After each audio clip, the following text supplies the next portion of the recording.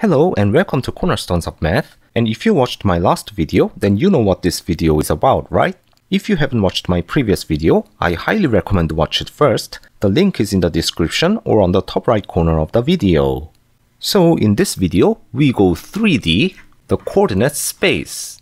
And instead of a line, we now have a plane. So for given point A, which is 1, 3, minus 5, and plane alpha, given as 3x minus 4y plus 7z minus 30 equals 0, this is the equation of a plane. Find point B such that A and B are symmetric with respect to plane alpha. And in 3D case like this, the vector method, which I used in my previous video, actually becomes the most efficient method. So let's use this method to solve the problem. First, let M be the midpoint of line segment AB, which is on this plane alpha. Just like the line has a direction vector, the plane has a normal vector. That is, the vector that is perpendicular to the plane. And here we have to use the following knowledge about the planes in coordinate space. Generally, the equation of a plane is given as ax plus by plus cz plus d equals 0. Then, the normal vector of this plane is given as a, b, c. So we have to use this property. Then for this plane alpha, you can see that the normal vector n is 3, minus 4, 7 directly from this equation. Now let us find the equation of line AB. Since both vector n and AB are perpendicular to plane alpha, line AB and vector n are parallel. This means that vector n is also the direction vector of line AB. And I have already explained in the previous video how to find the equation of a line using direction vector. We let x as an arbitrary point on line AB and think about the position vector OX, where this O is a reference point having coordinates 0, 0, 0. And this position vector OX can be obtained by vector OA plus vector AX. And since this vector AX is parallel to the direction vector of line AB and thus parallel to vector n, we can say vector OX is vector OA plus t times vector n, where t is a real number. This is the vector equation of line AB.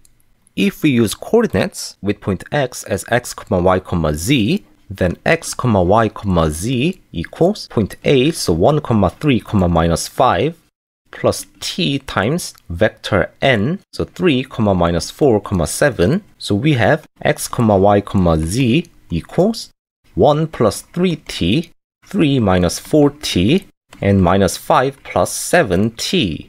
This is the parametric equation of line AB, where this t is called the parameter. Now this midpoint M or the position vector OM is also expressed in this form. Moreover, since this point M also must be on plane alpha, it also satisfies the equation of a plane.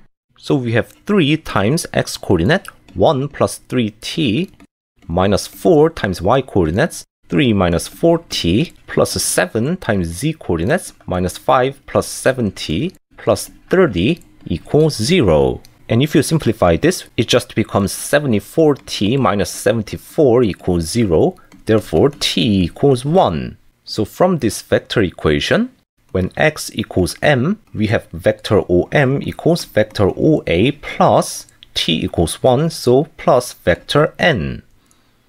Therefore, this vector am is given as vector OM minus vector OA, so it is just vector n, which is 3, comma minus 4, comma 7. Therefore, the position vector OB is given as vector OA plus vector AB, and this vector AB is twice the vector AM, so using this, we have 1, comma 3, comma minus 5 plus twice the vector 3 comma minus 4 comma 7 so we have 1 comma 3 comma minus 5 plus 6 comma minus 8 comma 14 so we have 7 comma minus 5 comma 9 therefore point B is given as 7, comma minus 5, comma 9. And that's all for today's video. If you enjoyed this video, please hit that like and subscribe buttons and as always, I will see you in another video.